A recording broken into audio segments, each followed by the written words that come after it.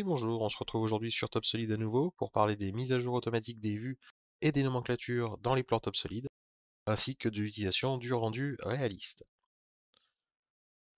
Nous avons sur la gauche un meuble, une ébauche de meuble, sur la droite un plan, donc c'est cette partie-là qui va nous intéresser. Et donc aujourd'hui, si par exemple je viens déplacer ma coupe pour la mettre là, je me retrouve avec cette croix orange qui vient me dire que la vue n'est pas à jour. Et si je viens cliquer dessus et faire un clic droit, régénérer, je reviens à jour, les codes passent en rouge et ainsi de suite. Et si je reviens dans l'autre sens, même chose, régénérer, les cotes repassent en bleu. Attention, lorsque vous êtes prêt à faire ça, euh, soyez bien dans le plan, sinon le menu de outils options n'est pas tout à fait le même selon que vous le lancez depuis la zone 3D ou depuis la zone plan. Donc là, vous avez accès à des fonctions liées au plan, donc dessin, vue 2D, paramètres de projection, ça va être celle qui nous intéresse. Et mise à jour automatique des vues qui se trouve ici, on la sélectionne. Dans la foulée, je vous conseille d'aller chercher dans Tableau et nomenclature à l'onglet Nomenclature et de faire la même chose, mise à jour automatique des nomenclatures on valide. Et là, miracle, bah, comme d'habitude, hein, ça ne va pas marcher. Et voilà.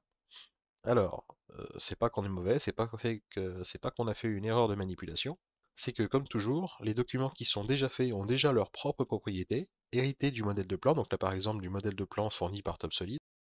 Il faut donc aller en plus de ce qu'on a fait, donc qui sera, qui sera pour tous les nouveaux plans que vous allez créer, mais si vous avez un modèle de draft que vous utilisez régulièrement, il faudra aller dans le modèle, donc dans votre config template euh, ou dans votre groupe template, dans propriété euh, de votre plan, et euh, faire la même manipulation. Donc paramètres de projection, on va lui dire que oui, on veut une mise à jour automatique des vues, et on va lui dire dans la foulée que sur notre nomenclature aussi, ce qui était déjà le cas chez moi.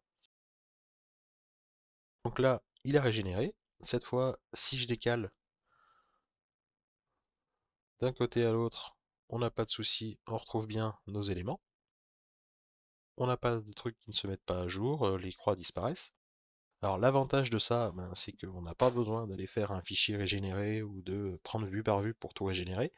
Le défaut de ça, ça va être que justement, si votre plan est ouvert en même temps que vous faites des modifications dans votre 3D, eh ben, il va essayer de tout mettre à jour en même temps, ce qui va vous faire ramer le poste de travail et qui ne va pas être agréable du tout.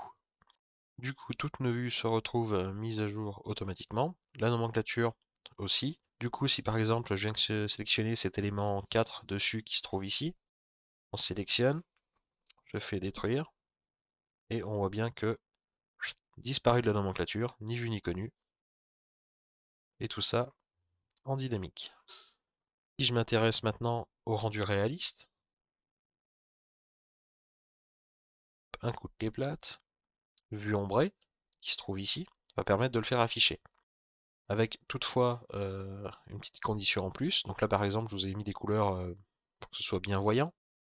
Euh, on a pris la peine de renseigner le matériau bois dans le 3D. Pour bien comprendre, si je passe dans le 3D et que je me remets en rendu avec les couleurs, on retrouve bien effectivement hein, ce que j'ai demandé, hein. c'est bien ce que j'ai mis comme couleur dans mon 3D. Par contre, pour le client, on est d'accord que c'est pas tout à fait ce que je vais vouloir. Donc je me remets un rendu réaliste. Voilà, et dans mon plan, en fait, quand on lui dit rendu réaliste, il vient chercher les coloris utilisés dans TopSolid. À une exception près, il faut que dans Outils Options, on est sur nos paramètres de projection toujours. Cette fois-ci, utiliser le rendu réaliste, hein, qui est légèrement différent de l'option qu'on avait tout à l'heure, qui était utiliser le rendu ombré. Donc quand je vais faire ça, que je vais faire OK, on n'a toujours rien. Même méthode que tout à l'heure, ceci est un plan déjà ouvert, déjà enregistré avec son propre modèle, il faut donc modifier ses propres propriétés de ce document. Je vais chercher dans paramètres de projection, utiliser le rendu réaliste également, et là avec la mise à jour automatique, je retrouve bien mon coloris bois. Et voilà, j'espère que ces quelques éléments vous auront aidé à avancer sur TopSolid et vous auront permis, avec euh, deux trois petites options sympathiques, de progresser sur le logiciel et de vous assister tous les jours. Bonne journée, bon courage